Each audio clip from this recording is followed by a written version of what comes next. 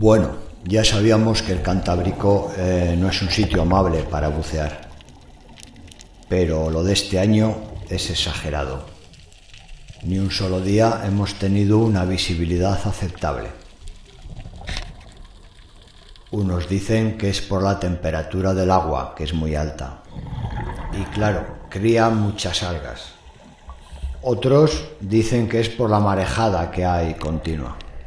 Yo lo que veo es que aunque en la superficie casi no se mueve el agua, hay una mar de fondo continua y bastante fuerte. Aunque no importa demasiado, no hay mal que por bien no venga.